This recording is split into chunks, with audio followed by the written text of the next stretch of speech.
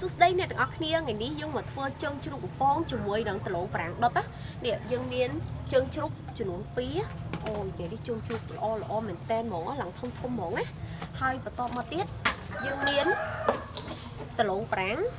ហើយនឹងស្លឹកខ្ទឹម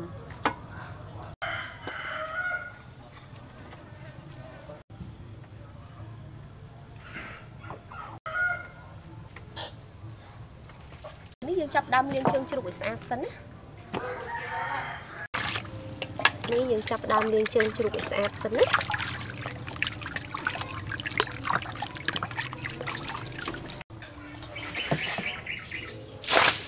មកទៀតយើងចាប់ដើមកាត់ជើងជ្រូក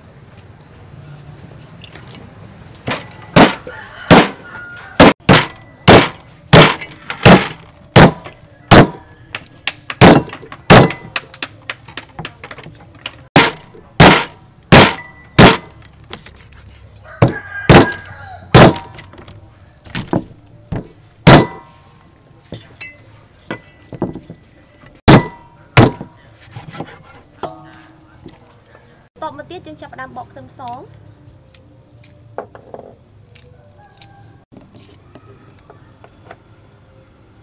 ទៀតយើងដាក់ម្រេចគ្រាប់ចូលហើយយើងបុកវាឲ្យម៉ត់ណា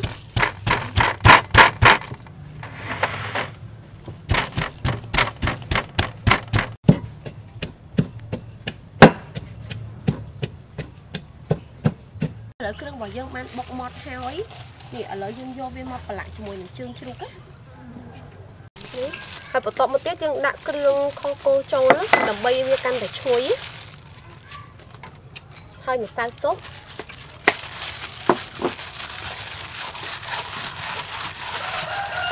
ទៀតយើងដាក់អំបិលចូល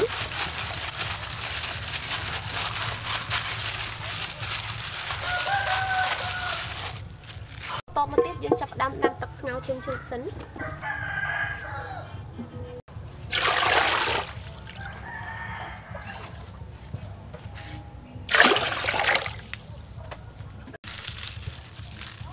តបមកយើងចាប់ដើមបង់ស្លឹកខ្ទឹមចូលទៀតជើងជ្រូករបស់យើងប្រឡាក់គ្រឿងមុនហ្នឹង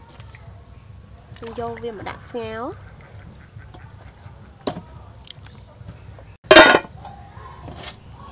តបមកទៀតយើងចាប់ដើមដាំទឹកស្ងោរប្រឡូ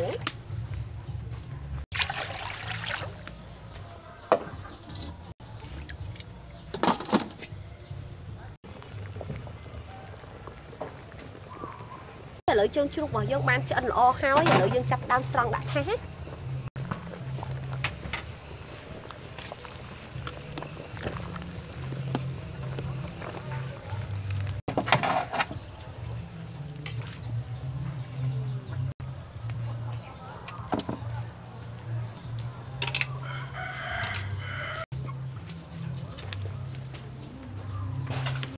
មកទៀតនេះដលងរបស់យើងក៏បានឆ្អិនល្អដែរឥឡូវយើងចាប់ដើមស្រង់ដាក់ថាស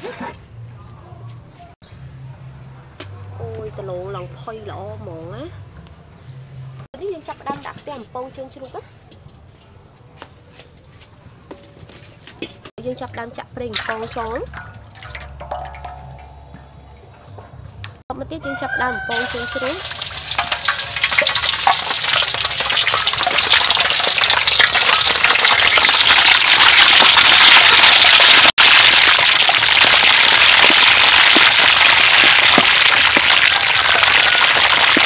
តពីយើងចាប់ដើមអំពងជើងជ្រូកហើយឥឡូវនេះយើង ចាប់ដើមបកដលងប្រាំង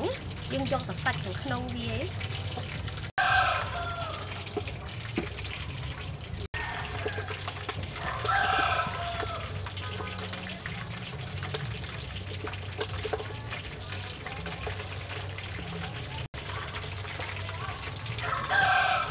ទៀតយើងចាប់ដើមជ្រុំវាឲ្យម៉ត់ណា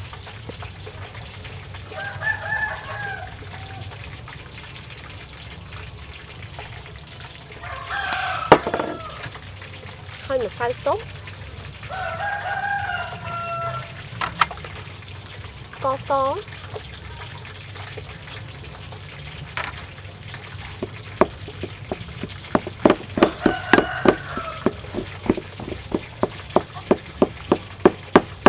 ពីយើងជ្រុំវាម៉ត់ល្អហើយឥឡូវយើងយកវាមកដាក់ជាមួយនឹងថាសដែលយើងត្រូវយកទៅដុតណា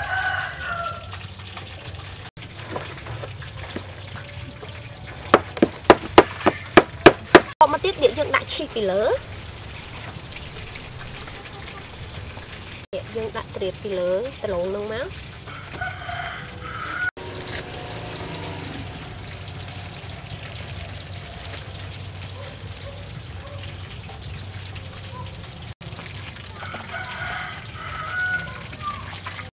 យកវាមកដុតនៅក្នុង microwave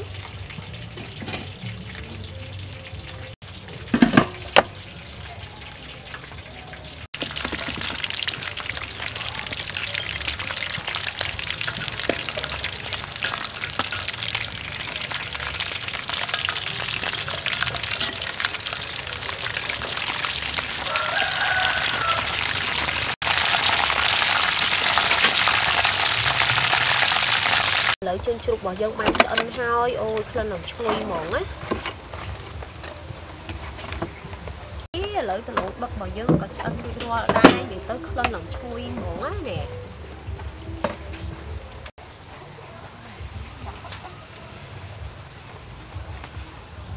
ឥឡូវជើងជ្រូកបំពងរបស់យើងហើយនឹងដលងដុតរបស់យើងបានរួចរាល់អស់ហើយឥឡូវយើងចាប់ផ្ដើមភ្លក់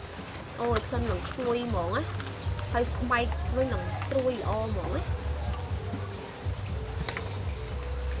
នេះជ្រក់ជាមួយនឹងទឹកត្រីកោះកុងទៅតិចមក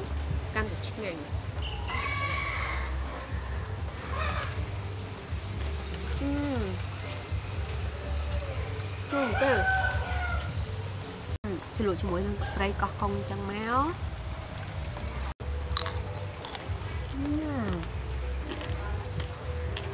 ស្រួយឆ្ងាញ់ហ្មង